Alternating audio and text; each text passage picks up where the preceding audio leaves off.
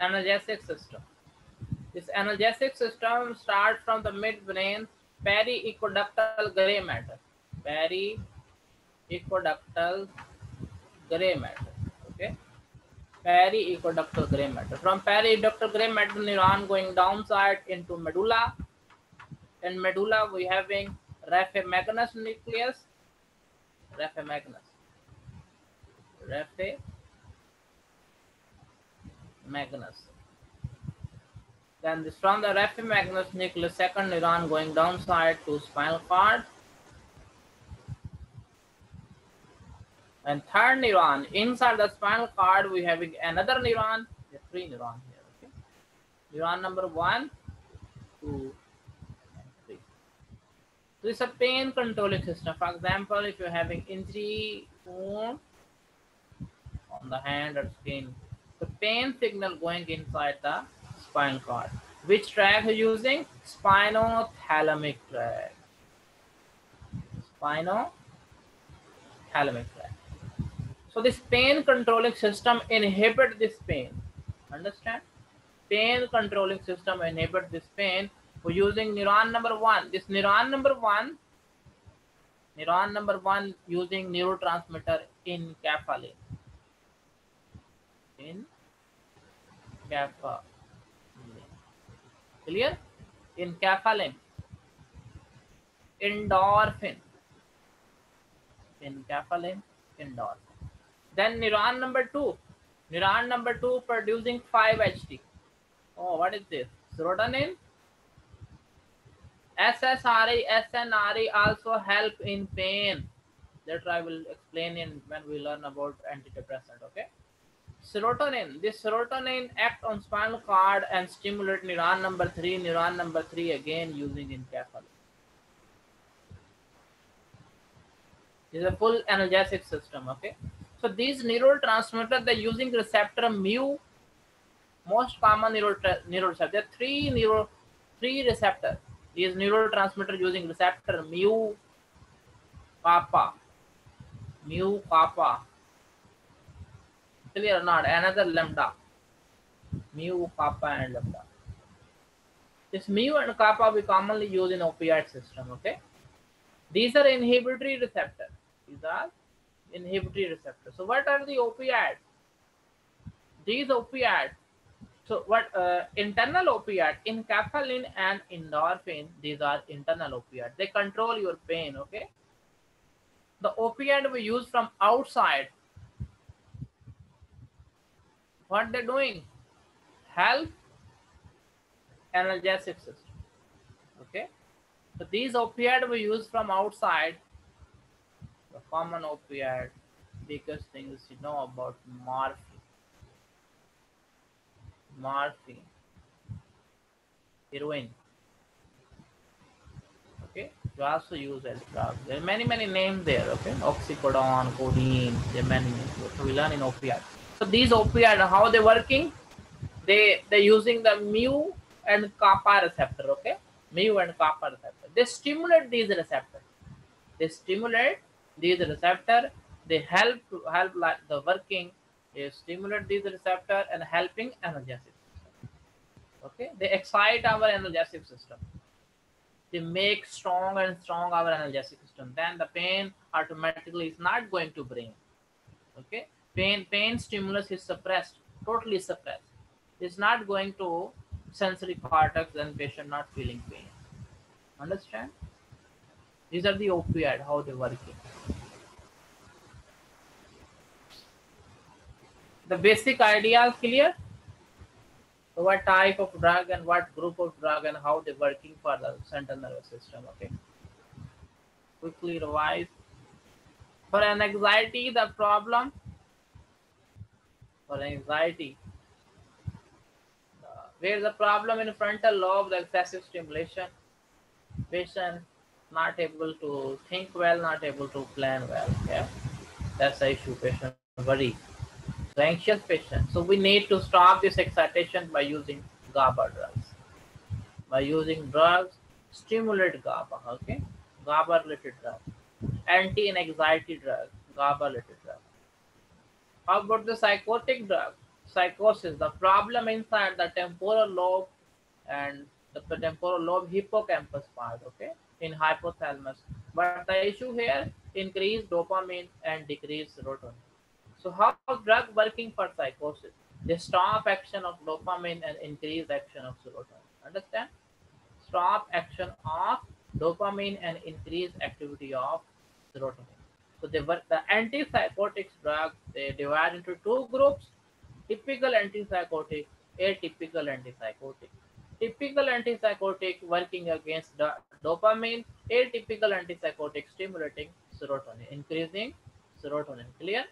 Typical we use for acute psychosis, atypical we use for chronic psychosis. In epilepsy, uh, the problem excessive electrical stimulation all over the cortex, all over the cortex, excessive stimulation. We're using sodium blocker, calcium blocker, and the GABA related drug to treat epilepsy. The next, depression. What the problem in depression?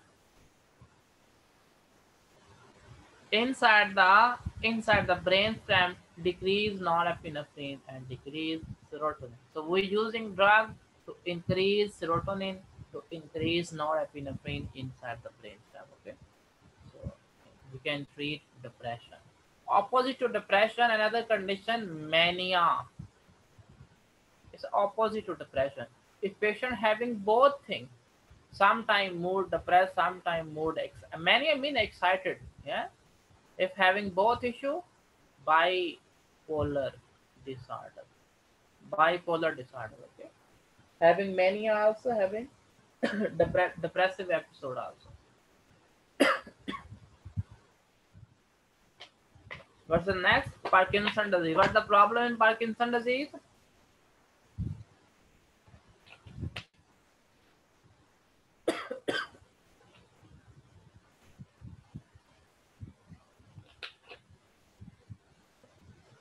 The problem in Parkinson disease in decreased dopamine, increased acetyl where inside basal ganglia.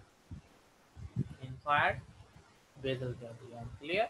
The problem inside the midbrain dopamine neuron damage it lead to decrease dopamine. How we treat Parkinson disease? Increasing dopamine and decreasing acetyl. In Alzheimer disease, what's the problem? In Alzheimer disease, inside the frontal frontal lobe and inside temporal lobe decrease acetylcholine. So we can increase acetylcholine and treat Alzheimer disease. Okay. So what are the opioid? How they working? They support analgesic system. Okay. They help. How they control pain analgesic system already exists inside the brain, inside the central nervous system. Okay, analgesic system start from midbrain uh, till spinal cord. Control pain stimulus not allowed to enter inside the brain. Then person not feeling pain. The and naturally pain control system inside the brain. Okay, so opioid, heroin, and morphine. What they're doing? They support, they stimulate this analgesic system, and then they're controlling pain. Understand? Okay, let's start the first group. The first we start from according to sequence in your book, neurodegenerative diseases. First there, Parkinson disease.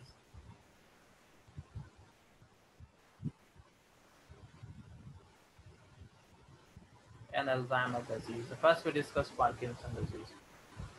In Parkinson disease,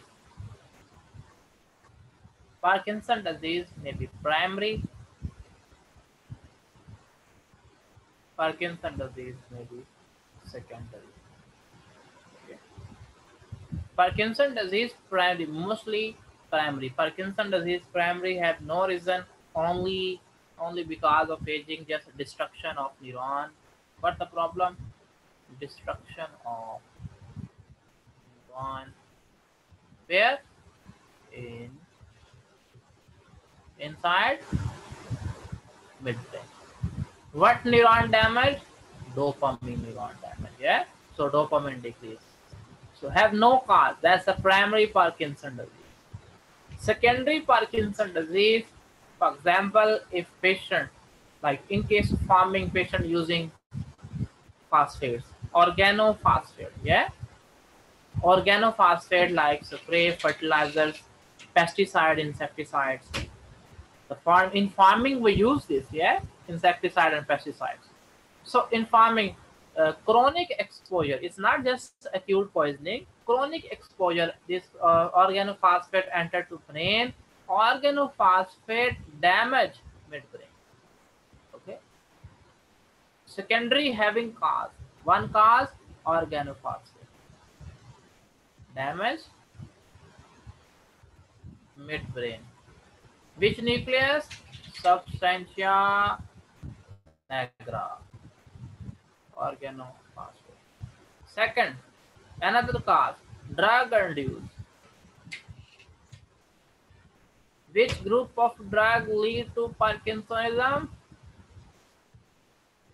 Just now we done. Anti-psychotics. Parkinsonism, okay? Drug induced. Clear, clear? drug induced.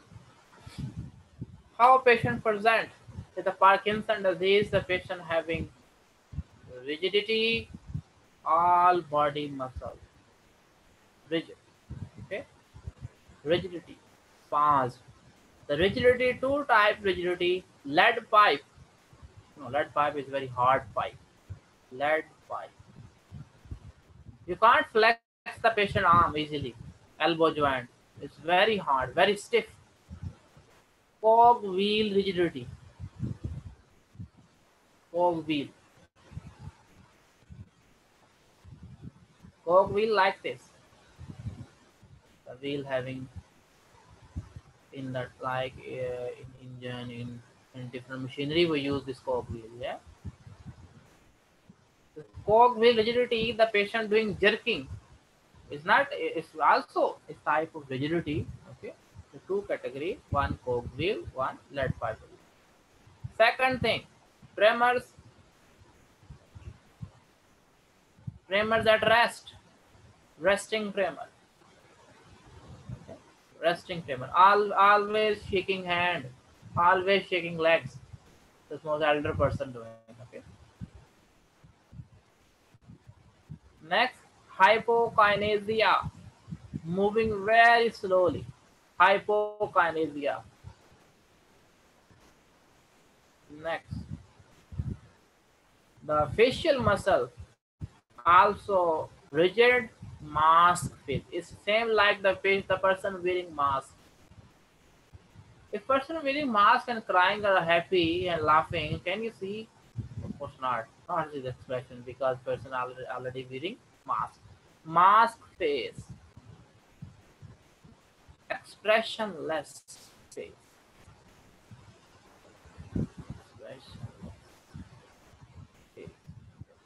So these are the main clinical features of Parkinson's.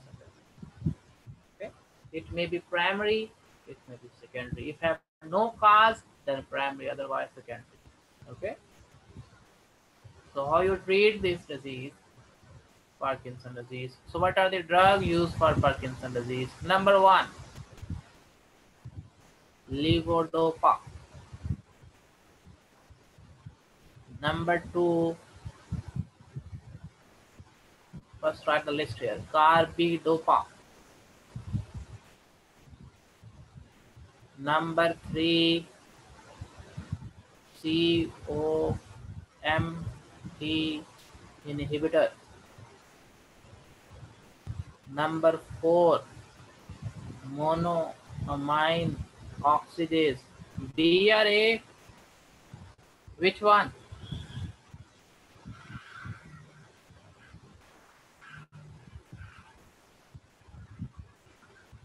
Which one?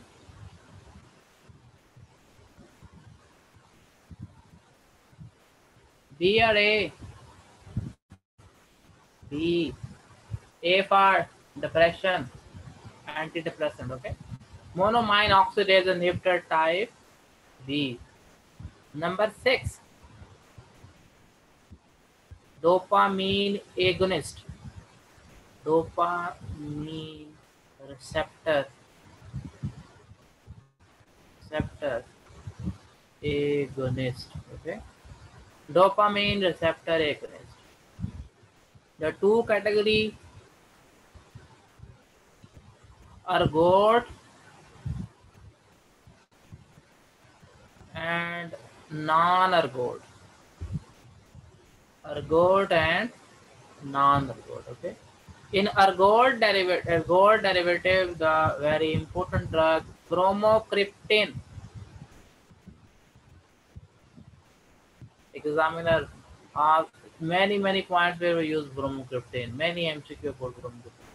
Bromocriptine, cabergoline, cabergoline bromocriptine, cabergoline, non-ergot, pramipixole, pramipixole, apomorphine, apomorphine, not mixed with morphine, okay, it's something different. Apomorphine, not think it about opioid, okay, apomorphine, rotigotine, rotigotine. So these are the non-ergot derivative. Okay, let us explain difference between ergot and non-ergot. Bromocriptine, cabergoline, bromocriptine, cabergoline, pramipixole, apomorphine, rotigotine. These are the dopamine receptor agonist. Okay. Ergot derivative, very strong agonist. Non-ergot derivative, weak agonist. Okay.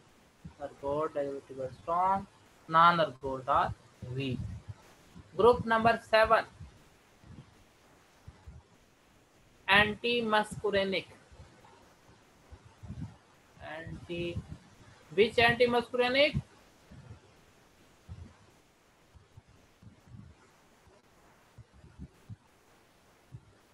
Benzotropine, trihexyphenidyl.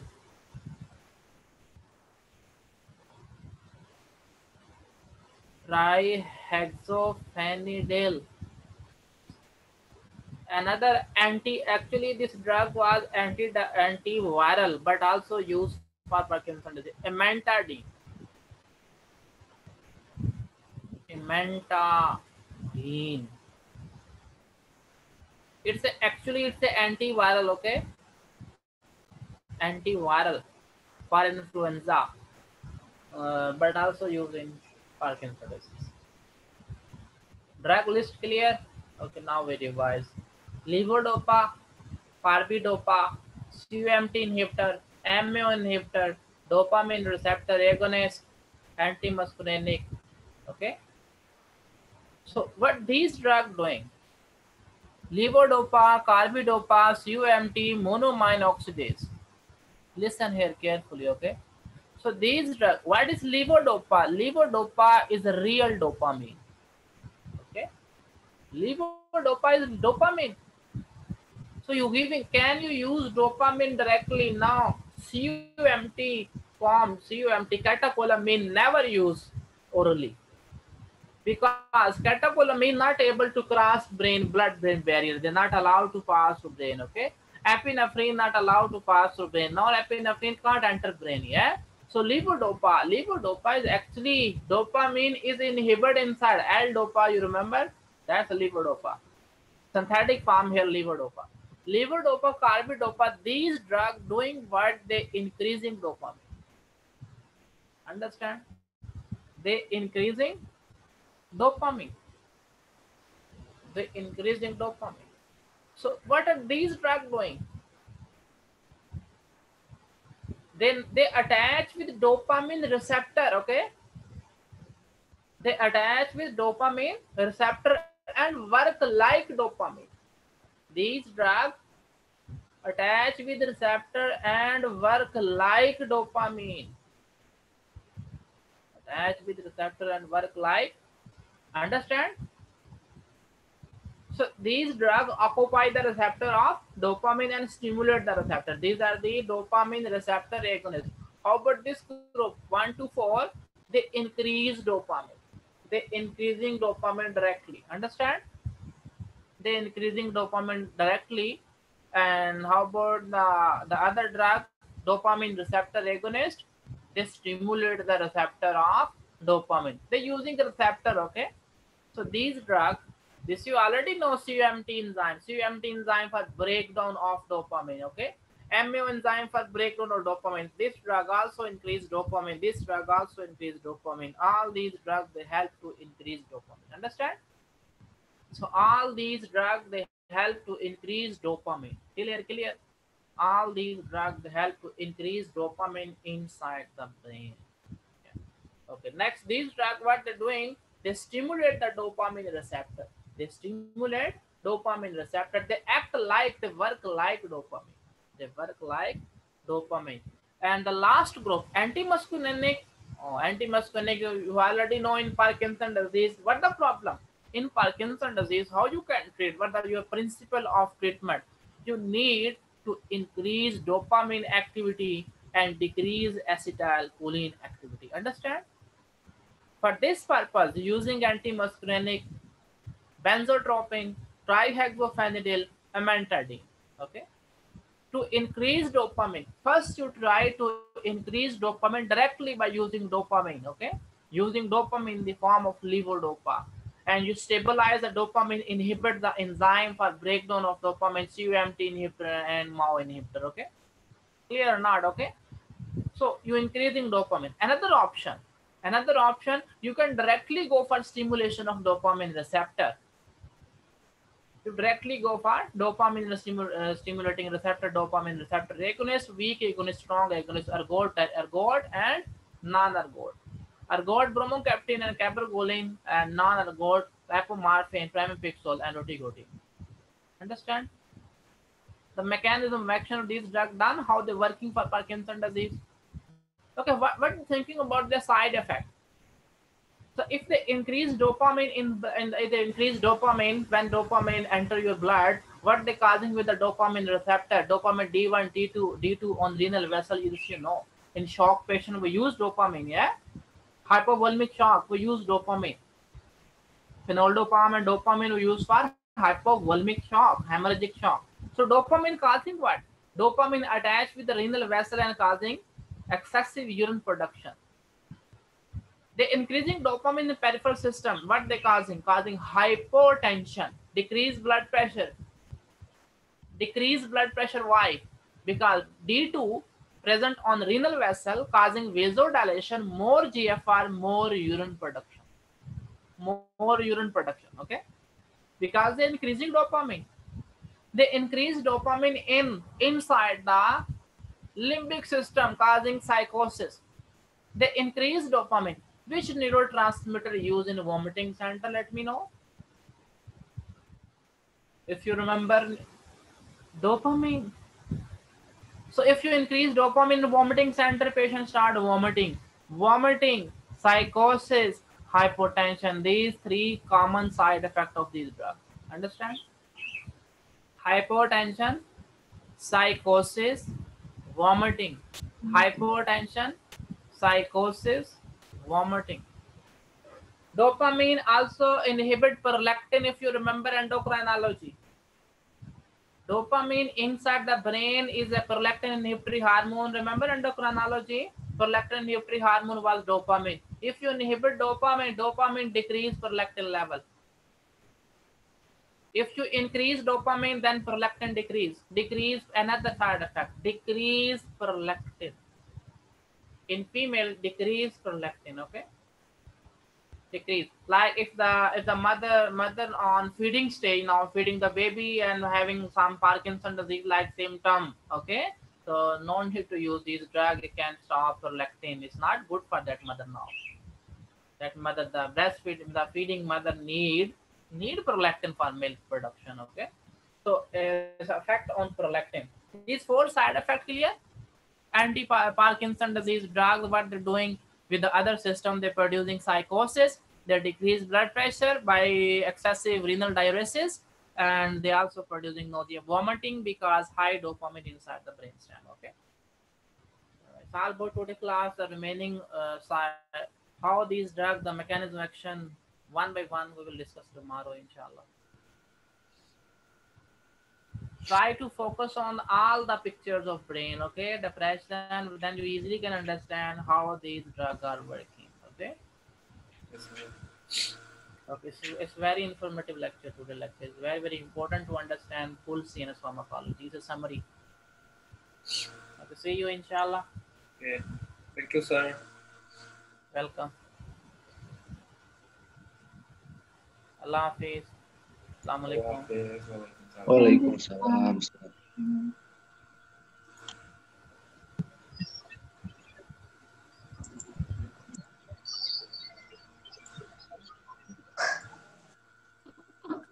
Assalamualaikum teman-teman. Kayak mau menangis loh aku di pelajaran. Ya ampun, kayak sudah anu ditakut. ya? Kok pusing ya? Eh, kok diulang-ulang? Ah, kenapa ini? Maksudnya Udah ingat semua anatominya. Itu kayak kita tuh sudah dijelasin dari zaman dulu gitu kan. Kayak setiap pelajaran itu dijelasin lagi, dijelasin lagi. Tapi kok kayak masih bingung gitu kayak hmm, apa?